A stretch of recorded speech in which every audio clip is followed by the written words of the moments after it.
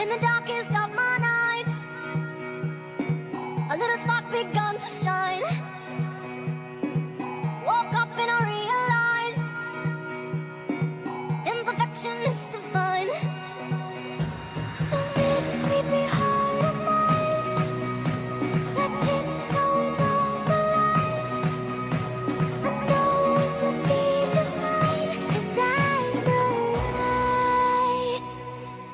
I'm friends with the mob.